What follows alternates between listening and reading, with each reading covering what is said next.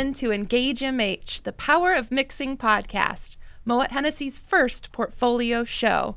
I'm Angela Sauvé, Director of Trade Engagement, and I'm thrilled to welcome back my co hosts, Rich Buchanan, Laura Catlaw, Senior Managers of Trade Engagement. Hello, everyone. Bonjour, y'all. Welcome back, Rich Buchanan. Oh, it's nice to be back. So, we have a pretty exciting show today. This is a topic that is close to our hearts because today's episode is all about mixology. Are you excited? Yes, I am excited. I'm uh, very much eager to hear about the two guests that we have on the Oh. show. So, why don't you tell us who's coming? Yes, today we invite Lynnette Marrero, award winning mixologist, founder of Speed Rack, the first female bartending competition, and more to join us. And we are also inviting, very excited, uh, Moet Hennessy's first portfolio mixologist, Charles Hardwick, who will teach us how to craft a New York sour. I may be a bit biased. Charles and I started together on the first day, and I think he has the perfect voice for a podcast. So, I'm eager to have him on the show. He does have a voice for radio. Professional podcast voice. 100%. Yep. So get ready, put those headphones in. but before we get to uh, chatting about chatting with Lynnette, you know, meeting Charles, let's talk about mixology. Are you going to tell us a story? Oh. Tell, tell us a story, please. Absolutely a mixology story, right? Take us there. All right. So when I was thinking about the theme of the show, mixology, I started to wonder where the term mixologist actually came from, and I went down a rabbit hole. so where did the term mixologist come from? Let me tell you. And to quote our friends at Vine Pair, it has a surprisingly long history. So, bartending is an ancient practice that can trace its roots back to the Greek and the Roman times. And during the ancient times, patrons relied, as they do today, on their local expert to pour their favorite drinks. Now, by the 15th century, bartenders throughout Europe were primarily known as innkeepers. And they typically produced their own spirits and ales. How cool is that? That's fascinating. Pretty cool. Flash forward to the 19th century in the 1800s, where bartenders were experimenting with cocktails and they contain some pretty incredible examples of inspiration. And in New York, bartenders were trying out all kinds of wild ideas, creating exciting concoctions that delighted the locals. Now, the first cocktail process book was actually a book by Jerry the Professor Thomas in 1862, and it's called The Bartender's Guide. You might have heard of it. And this is the first time in print that the secrets to creating classic cocktails like the old fashioned would be revealed. Is this an original? Do If- you have an original? If Angela had an original, she would not have left the house with it. That is a lovely reprint, and it is such a great I'm book. just saying, it looks like it. I think it's an original. It's originally super cool. Um, the, the cocktails in here are so amazing. They're they're kind of quirky. The measurement systems are, are very strange. It does contain one of my favorite cocktails, which is the Japanese cocktail, which is a wonderful uh, cognac cocktail. I use Hennessy VSOP, and then orgeat and bitters. Oof, I think it's page 23 in that book. So there you go. Is it really page 23? Yeah, I did. I I'll a check later. I'll research. check later. A little research. So, I mean, though people do think that this this book, Jerry Thomas's Bartender's Guide, was the first time that the term mixologist was coined, but it actually made its day a little a debut a little bit earlier um, in 1856 in the Knickerbocker magazine, which was published in upstate New York. And then the next time we see it before the Bartender's Guide is actually in 1860 in the Raftsman Journal from Clearfield, Pennsylvania, Laura. Shout out Pennsylvania. Yeah. so this is this is actually fascinating. So the paper featured an essay about a man in a hotel who mistakenly wandered into the room of another hotel guest. Is this a true mistaken? Like he mistakenly wanted. in? Genuinely mistakenly went into the wrong happens room to me all the time. late at night and he he scared the occupant, as you can imagine. And the man explained that he had come from the bar downstairs and that the mixologist of tipulars downstairs had directed him to that room, thinking that was his room. I think that's just a that's a funny story. It is. And then in 1870, we also see mixologists begin to appear more frequently, this time in west, westward by rail. And then in the 1880s, the term actually um, was an elevated term to describe a bartender at a high end establishment. Now, after the rise of the cocktail in the early 20th century, Americans were faced with a little thing called prohibition. And as we all know, these laws from the federal government made it illegal to make or consume alcohol. But we know that the bartending culture they re- it remained alive, very much alive uh, during the roaring roaring 20s throughout prohibition and working in underground speakeasies, bartenders continued to provide their patrons with delicious cocktails. And in fact, during this time, some of the most popular cocktails that we enjoy today, like the gin and tonic, were invented during the illegal era. now, the modern reclamation of mixologists can be directly attributed to one incredible talent within our industry, the one, the only Dale DeGroff, who in the 1980s happened upon the term while he was researching 19th century bartending for his bar program at Joe Baum's legendary Rainbow Room. He considered the word befitting to the grandeur and showmanship that he hoped the bar would embody.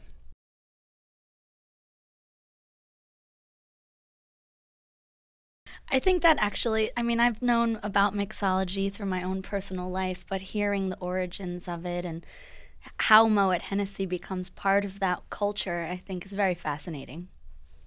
Yeah. Should we do a quick little behind the bottle? Yes. Is, that the, is this the time? It's the Yes, time. it's It's the time time. for Behind the Bottle. behind the bottle. Um, you know, normally we I talk about one bottle, but today I'm going to talk about almost two dozen bottles. Um, you know, one of the fascinating aspects of Moet Hennessy is that you know we're not just one big company. We're a, a, a collection of maisons or, or houses, and each maison is very independent, and they focus on their own unique brand of tradition, craftsmanship, uh, innovation. And for years, we've had ambassadors with these maisons, and they've been doing amazing work, especially in the, the cocktail mixology world. Uh, I was thinking about the um, Hennessy My Way Challenge. That's a global bartending, you know, competition.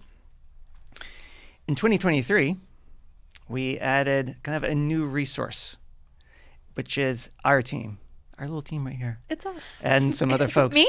But our the trade engagement and advocacy team. And our team is focused on the trade and, and using the power of the portfolio.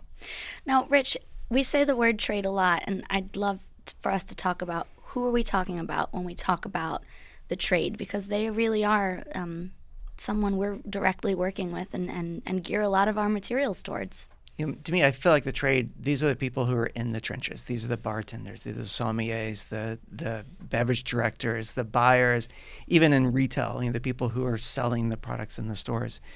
Uh, we really want to be you know meaningful within this space, within the space of the trade.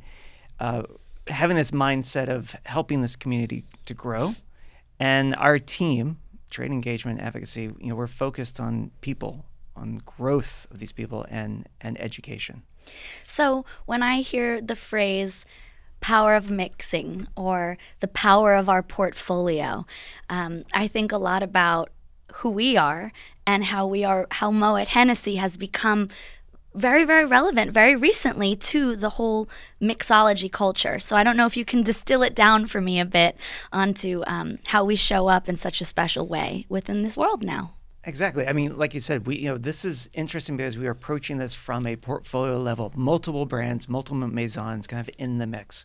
And so I think first and foremost is this team, this trade engagement advocacy team, and we built this team. This is new for Moet Hennessy, uh, and once again, we're focused on people, growth, and education. Um, we also will see the the impact of this new world uh, at Moet Hennessy at Tales of the Cocktail uh, this year. Where we'll have our first portfolio level or multi brand experience at Tales of the Cocktail. And then, if in Paris, there's a new project launching this summer. It's a collaboration with the iconic Cravan Bar. And this is going to be the first time that Moet Hennessy has their own bar. So let's go buy some plane tickets. I think we need to go to Paris. I'm ready. Let's go. Let's go. My bags are packed. I have a bag constantly ready to go, so we're good to go. and now let's shake it up with, and we're very excited for this. Yeah. Lynnette Marrero. Lynnette is a bartending guru, women's industry champion, educator, inclusivity advocate, mentor, philanthropist, and of course, a craft cocktail savant. You may also recognize Lynnette as the Latine co creator of the Speed Rack International Women Bartending Competition. Lynnette is also the master class mixology teacher, as well as the mixologist behind a new line of ready to drink beverages. Lynnette, welcome. It's quite an impressive background, bio, resume pioneering spirit. Uh, we're so excited to have you on the show today. So, thank you for joining us. And this episode is all about mixology. So, our first question for you today is What is your absolute favorite go to cocktail and why? Oh, wow. So, that's like asking someone to pick their favorite child. uh, you know, I cocktails are so there's such a beautiful range um, of what they are. I mean, if it's push come to shove, I'm always a big fan of a classic martini. Um, I prefer mine with really a lot of vermouth. So I like a 50 50 or a two to one style. Uh, and I always like a lemon twist and an olive. Ooh, so we, we affectionately call that grandma style in the industry. I mean, we've said it. You have an impressive background, and we are we're excited to to dive in a little bit more and learn about your journey. So, could you tell us more about how you have done all of the amazing things that we introed at the top, as well as your innovations? There's quite a few of them. So, I started, you know, craft cocktailing in New York, and at the time I started, it wasn't we weren't sure it was going to be a full career yet. it was just kind of moments where a lot of people were still um, bartending as a means to afford to live in New York. And I think a lot of big cities uh, felt that. London, San Francisco at the time, probably people were still in the same way. So I, I started a wine bar um, down on Clinton Street back in the early 2000s and it was a global wine list and it was really great because I just kind of talked my way into it. But what I found was guests were really cool and you could build relationships with the people coming in. And there was a lot happening in the Lower East Side at that time. Um, you know, Wylie Dufresne was just about to open WD50 on the same block. So the people that were coming in were, were really um, the people building the, the culinary scene and, and this industry that I would start really jumping into. Um, working after working there a few years, I actually moved on to, working in a, a martini lounge. So at the time, martini lounges were places where everything was called a martini, not the kind I was talking about, the classic martini. it was everything from, you know, graham cracker martinis to whatever kind of chocolate martini you wanted. uh, you know, so lots of lots of flavor, a lot of um, you know, using a lot of even just flavored spirits to create those cocktails. Um, but while working there, I started getting introduced to the bar side. Um, there was a bartender named Amber Tinsley, and she wanted to start teaching me kind of basic drinks because uh, she thought I could be behind the bar. And every Thursday we closed, she would teach me a few drinks while while she was closing down, um, and then we would go after work for a drink at the this new cocktail bar that had just opened, um, just kind of you know a few blocks away from us, um, and that was the Flatiron Lounge. And the Flatiron Lounge was run by at the time, Julie Reiner, uh, her partner Susan Fedroff, um, and another woman named Michelle Connolly. And I was just so enamored with this world, uh, walking into a a beautifully designed Art Deco space where the cocktails had all those beautiful fruit flavors, but Julie was using fresh ingredients, um, you know, fresh passion fruit, not a passion fruit liqueur. Um, and she was bringing all of those items to craft cocktails. And I just fell in love with the, the style of drinks. So every day, you would, if, if you worked there, you would learn three new cocktails uh, that you were that you were serving. So I stalked them for about a year for a job. Persistence. and, and finally got a position there. Um, and I just I just fell in love. And like Phil Ward, we're working behind the bar. He had worked his way up from you know being a busser there. Um, Katie Stipe, who creates the Siesta, one of my favorite cocktails. Um, she was behind the bar at the time, and then um, later on, uh, Toby Maloney, who just won the James Beard Award for his book Bartender's Manifesto. He worked there while he was um, also at Milk and Honey, but also about to open Pegu Club uh, with Audrey Saunders. Um, they brought in Dale DeGroff. They brought in uh, Gary Gaz Regan, Dave Wondrich. Like everyone was coming to the bar and telling us information. And so I had access to all of these people who were researching and writing and putting the new the new systems in place mm. of once I had that opportunity to kind of really never never looked back. I started to kind of wind down my my career in, in theater and and started to embrace the the beautiful theatrical world of, of mixology and cocktail. Oh, that's a, I love that the beautiful theatrical world because it is, and that's an incredibly storied history with the titans of the industry. What an incredible roster of mentors. If we could ask you to look through your cocktail predicting crystal ball, what do you predict that this time next year the most popular cocktails will be? Oh, this time next year, the most popular cocktail. Um, I think next year, I think we'll see more. Um, I think we'll see more spirits coming from other places really having their moment. I'm I'm always optimistic that things like Pisco will have their heyday, um, and and that you know we'll see more um, agaves that are not just traditional tequila in the market, uh, or even mezcal. That you'll see beyond you'll see beyond those um, to other other varietals um, you know, and other other spirits that are coming from other places. I think people are getting back to crazy travel, so they'll start connecting those spirits in their travels. Um, so I, am excited to see what you have um, from there. Like Bar Convent Brooklyn, there were so many different new amari and and and and ingredients coming from all over that were really fun to add to your um, your cocktail arsenal. Lynnette, we'll have to. I, I, think it's there's a lot of developments. we'll have to meet this date next year, and we'll check your predictions to see how psychic you are. um, could you tell us more about what Speed Rack is, and how did you come up with the idea? Absolutely. So Speed Rack is, uh, we say it's an all women um, bartending competition um, that is based on speed and accuracy.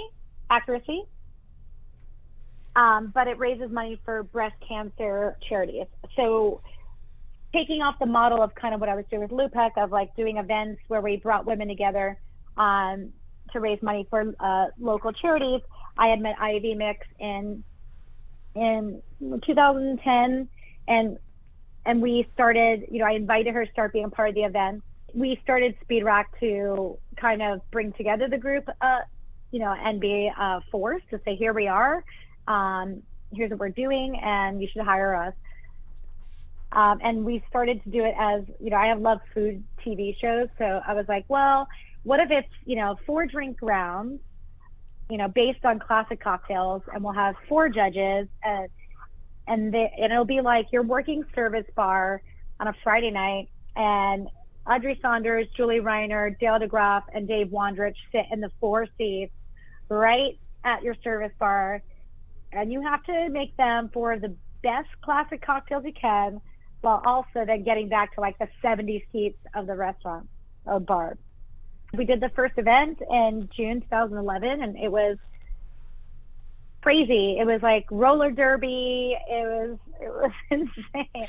It's like the competitors were just really fast and and fierce, and it was just rock and roll and very punk, and you could just see them um, just how much they put into it, and it was very infectious. Um, so we went on a tour, and now here we are, 12 years later, still on tour, and we've grown it across the world. Um, but it's it's just an interesting. It's kind of hard to capture it. It's just like what it is. It's a festival around the floor. So if anyone's coming to the Cocktail, we're doing our event on Sunday, July 23rd. You get to come in and sample all these delicious uh, drinks and cocktails from from all of the brand sponsors. But then you're watching this like head to head insane cocktail competition. Lynnette, I just had a flashback to my years of bartending, being at the service bar, focusing on the client in front of me, and then going, oh my God, the service Uh-huh. printer, going to the service printer and pulling a line of tickets that was like 30 tickets long. So uh, I will be at Tales of the Cocktail this year. We all will. And I cannot wait to maybe live that moment again through Speed Rack, but this time I'll be watching. You had mentioned uh, Tales of the Cocktail, and for our listeners and viewers who don't know what this iconic industry event is, could you tell, explain what this is? We know it takes place in New Orleans, but tell us what it is and what you're most looking forward to at this year's 21st anniversary. I cannot believe it's 21 already. It's it's finally legal drinking age. I was waiting. That took only three seconds. I was like, who's going to say it? But uh, of course, I mean, it's 21 always means so much to bartenders. Um, it's it's. I started went to my first one in 2006, so it started as a, a kind of a like a tourism event that brought down cocktail lovers um, and cocktail historians um, to New Orleans, which is a wonderful place with a lot of birth of the cocktail, a lot of cultural exchange, a lot of delicious food, and and it was the right place to um, start a festival. Over the years, it's grown into like the the Comic Con of cocktails. so you have, you know, a full week of tons of education, um, which I, I've, I've been lucky enough. I served three years on the education um, board. Um, and um, you can go and take really cool classes from a bunch of people. Maybe you've read their books or people who are operating places all over the country. And then you can also attend really fun events and parties by every large liquor portfolio. So this year is actually Laura's first Tales. Very So- excited. What advice do you have for Laura and all of the other newbies who might be listening or watching? drink water is a big one. Drink water is a big one. It's New Orleans. It's hot. Um, pack more clothes than you think you need because it's at least three changes a day. That's what everyone keeps telling me. And then I, I would say uh, it truly is about sampling and tasting. Um, so you don't have to drink every cocktail that's given to you. Um, you know, it is about tasting. They, they do it like serve them tasting portions. That's great. Um, and I definitely say make a plan and try to like map out every day of the things you want to hit. Um, by nature, you will probably miss around two or three of those. hmm but you know, don't forgive yourself. You're having a good time at a place, stay.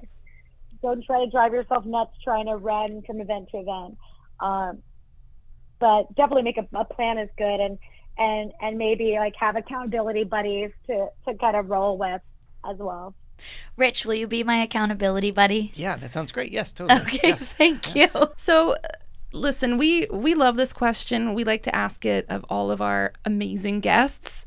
What is one lesson that your career has taught you that you think everyone should learn at some point in their life? I think it's to um, always do what you say you're going to do. I had a lot of opportunities come to me because I just followed through. Um, I was good at, you know, even when I worked till four or five in the morning, I would wake up and always check my emails.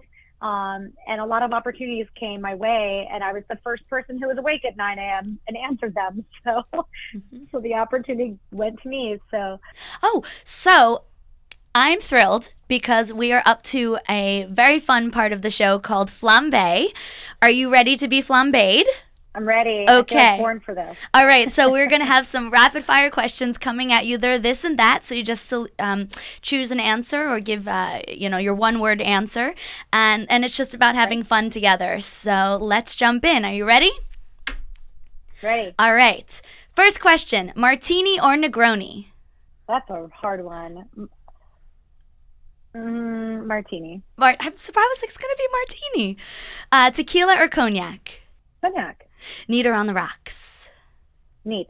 Flour or corn tortilla? Corn. All right, here's one for you, the New Yorker in you. New York slice or a New York bagel? New York slice. Good choice. All right, so this is uh, an homage to when we're all in New Orleans in July. A frozen Irish coffee or an absinthe house frappe? Absinthe house frappe. what is your favorite word? Hmm ally. Ooh. Mm-hmm. And what is your favorite song on your Daiquiri Timeout playlist? How do you know I have a Daiquiri I told playlist? you that I may have YouTubed and watched a ton of videos of you. And oh yeah, that's that's easy. I mean, there's there's a it's a lot of great music in there. Um, if I would say really quickly, like something that that hits me great, um, I love the uh, version of Fever on there by La Lupe. Oh, that's a good one. That's a good one. I kind of I kind of love classic songs that get get get remade, remixed. Excellent choice. All right, final question for you. What is your go-to toast or cheers? Um, it is to cheers cheers with your left hand because it's closest to your heart. Oh. Oh, cheers with like your that. left hand because it's closest to your I heart. love that. And, and I learned that from a very important uh, master blender, so Lorena Vasquez. That's wonderful. It, it, definitely meant a lot to me when she would say that always. Well, thank you. And thank you for being flambéed. And thank you for joining us, Lynnette. It's been an absolute pleasure to shake it up with you. Thank you for all of your advice and for everything you're doing to move the industry needle forward. And now it's time for Up, Neat, and On the Rocks with, and we're very excited about this, Moet Hennessy's first portfolio mixologist, the one, the only Charles Hardwick. Woo! Thank you. Welcome. Welcome Thank to you. the Glad show. to be here. Yeah, hey, Charles. Hey, Rich, how are you? So, Charles, we have been so excited to work alongside you and call you a colleague. And we are all impressed with your amazing background in mixology, in bartending, and in the trade. Can you tell us a bit more about your incredible experience? Sure. Uh, yeah, so as you said, my name is Charles Hardwick. Uh, I am a hospitality and specifically bar hospitality professional. I've been working in the industry for just over 30 years, so I'm going to date myself by being that specific. uh, and I've done a wide variety of things in the industry related to bars and spirits. Um, I really started off very humbly working at you know Southern barbecue joints, serving uh, something called a Lynchburg lemonade. That's one of the things I used to serve, which is basically Tennessee whiskey and, and lemonade. A lot of what we call one and ones, gin and tonics, you know, things like that. Uh, and then things move along and the cocktail renaissance happens. Those were the dark ages. Mm-hmm. Cocktail renaissance happens really in the late 90s, you know, early 2000s. Uh, I started working at a place called Pravda, which, you know, really spawned a lot of the mixology movements. It yielded employees only eventually. And then just before I came to this table and to this company, I was working at the Mandarin Oriental, uh, luxury five star hotel at a place called The Office. Uh, and that leads me here.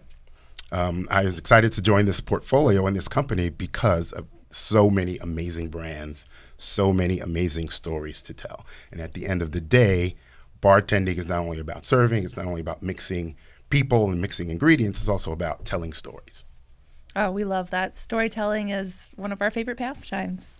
So, uh, you are Moet Hennessy's first portfolio mixologist. And at the top of the show, we were discussing where the term mixologist came from. And in our Mm-hmm. research, we learned that it means something different to a lot of people in the industry. So I'd like to ask you what does the word mixologist mean to you, and how do you define it?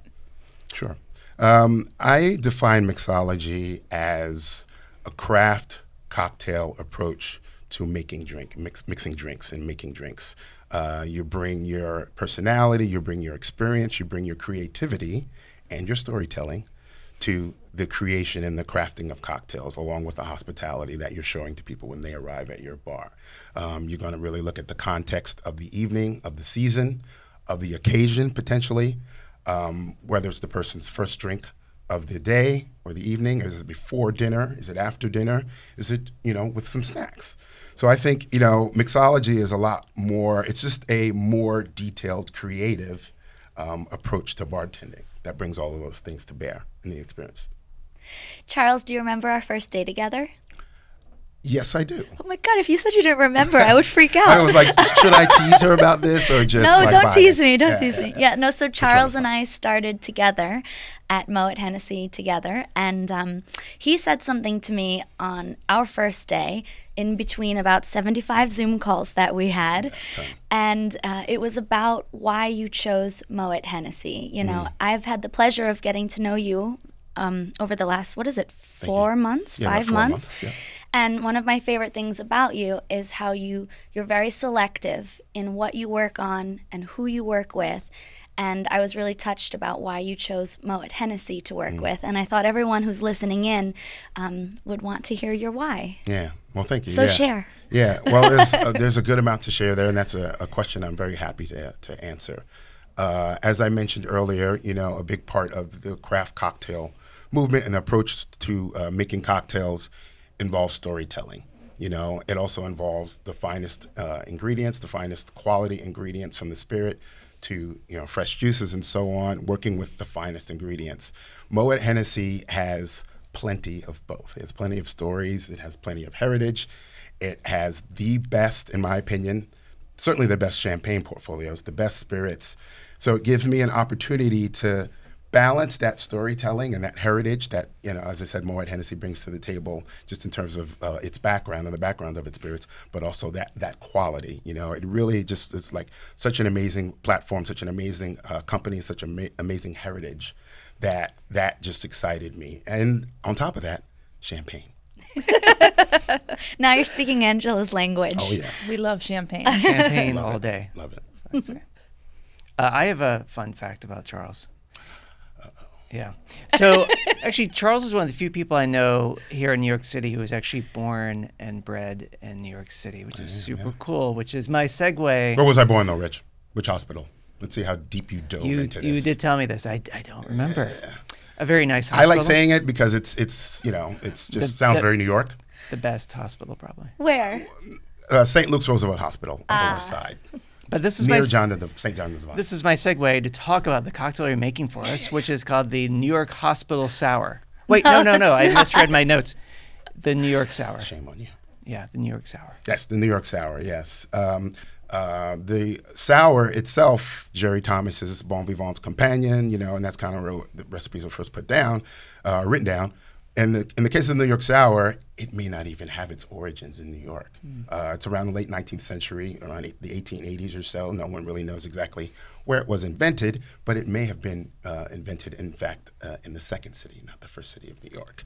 Uh, that said, we're going to make uh, one for you today. Uh, we're going to get started with, as I said, the finest, freshest ingredients, lemon here. Um, I'll talk you through. I'll talk you through the recipe uh, as I am going. This uh, we just want to get basically three quarters of an ounce of citrus. You see my li- little weird looking Yeah, so, juice press here. so the folks who can Yes. are watching this, the vodcast version, you if you're not watching it, watch the vodcast version just to see uh, his his little lemon Yeah, citrus. Yeah, it's he has, really cool. It looks kinda like- actually really great. It's a really cool. It's very efficient. It looks like something from like Fisher Price or something. It, Yeah, do- yeah, yeah. it does You know? look like that. Yeah. I need one of those. so you know eh, cocktails are all about balance right you know so it's food you know balance of flavor you know like sweet, sour, maybe a little bit of salinity. You know, certainly the spirit. You know, effervescence. In this case, though, we want to add. We have already have the three quarters of an ounce of the fresh lemon juice, which I've squeezed, squozen, Squozen. I think that's the correct word. equal Squozen. parts basically Squozen. of uh, this can be adjusted too this is another great thing about cocktails as is the case with food you know if you want it a little bit sweeter make it sweeter if you want a little bit more tart you're going to put one ounce and three quarters of simple syrup one ounce of uh, lemon juice so but i'm doing equal parts i think that will make for a really nice balanced cocktail here um, so again three quarters of an ounce each of lemon and simple You got our Woodinville whoops that's actually two ounces so i'm going to turn that jigger around Now you're using Woodinville. Woodinville bourbon. Sorry, I spilled a little bit there, but trying to I'm a big fan. the Can I share a fun fact about Yeah, talk to Woodinville? us. Oh. This is their straight bourbon. What I love about Woodinville is that this is a grain to glass bourbon. Everything made in Washington State. Woodinville's a little town outside of Seattle. And um, they're making incredibly, very, you know, highly regarded uh, uh, bourbon as well as rye whiskey out there in Washington. I love the story as well about the creators, the Yeah. best friends, and I don't know. That to me sums up bourbon. It's about family and spending time with quality, and that, that brand so embodies, I think, what is the heart of that category as a whole. So that's one of my favorite details Two about best it. friends in one dream. Yes, that's true. go. So let's get a little ice going here for those people who love the sounds of a cocktail being made. Uh, just a little bit more. Um, I like to describe uh, iced cocktails that are shaken uh, and poured over ice or shaken and, and served up as you're cooking with ice. Uh, the dilution, the temperature goes down instead of up, and you want to create that balance of flavors in the right dilution through the mixing process. I'm going to shake here very near to the mic because it sounds wonderful.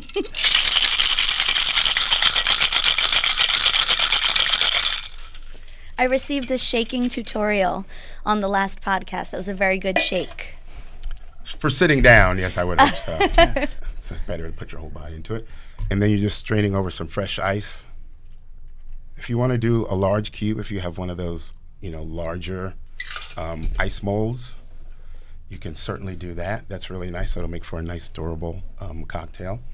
And then we're going to just do a nice little float of Rich.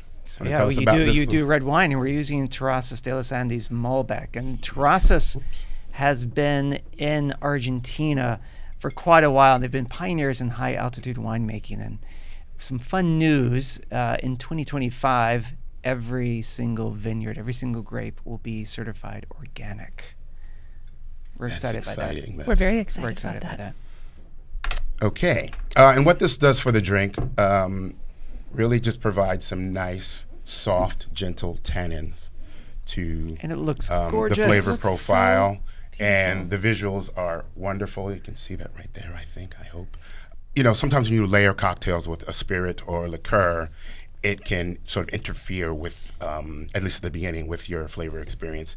In this case, because of the, the sort of relative lack of weight of the wine, that's why it floats on the top, uh, and the nature of the ingredients underneath, it, those actually come through and mix very well as you sip on the cocktail. So not only is it a nice, exciting visual element, the flavor element is not like interrupted or impeded or redirected uh, because you're doing the float on the top of the cocktail. It's actually very well integrated flavors. This is a beautiful cocktail. And if you are listening and not watching, go to YouTube, watch this. You have to see this beautiful sour that Charles has crafted for us. I don't think I can wait any longer. I have to taste it immediately. Get it, please. Let's do it. Cheers, everyone. Thank you, Thank you for Charles. having Cheers me. to you, It's been Charles. pleasure. Thank you. Thank you. Cheers. Cheers. Cheers. Cheers. That was a delicious cocktail. It was really great. Yeah. It's fantastic. Um, I don't know about you guys, but more so than other episodes, I feel like we covered a ton of information today. So I'd love a good recap. Um, maybe we can kind of distill down some of our takeaways. I love it. You know, I like to put a number with how many things we're going to talk I about. bet, so, bet three. yes, it's time for three Mine things three. that we learned in Well, this episode. I would love to start off again. it's becoming a habit. Um, I actually was very touched by today's episode. Um, I think my big takeaway was this idea that it's great to have a dream, But when you mix that dream, much like a cocktail, with uh, you know ambition and most importantly I, the honesty, right? I, I, I do what I say and I and I and I mean what I what I say, and anything is possible. And that was sort of my big takeaway from. Um, Lynnette Marrero's interview that we had. I mean, look at what she did for not just women, but what she's done to um, develop her, the culture of mixology around the world. And, and, and in speaking with her, she did it through dream, ambition, and showing up honestly. And I think that's a, that's a pretty great way to live your life. It was super cool to have Charles Hardwick on. You know, he's our in-house portfolio, so multiple brand mixologist, Moet Hennessy, 30-year veteran. It's like every day I learn something new about something he had done in his past. It's, it's incredible. And he made, honestly, one of my favorite cocktails. I love a New York Sour. And with the Woodinville and the Terrazas float on top, that was brilliant. big fan, big fan. It was brilliant. You know, I my my thought is this: Moet Hennessy is finally in the mixology game as a portfolio for the first time. It is really exciting, especially with the addition of Charles. I mean, having him as our colleague is such an honor. And our team, the trade engagement and advocacy team, we're new and we truly believe in the power of mixing. We're focused on people, you know, education, storytelling, podcasting. Podcasting. And honestly, I'm really excited for the road ahead. All the pioneering ideas, all the innovations, telling more stories, connecting with more people. That's a good way to round us out. Yeah.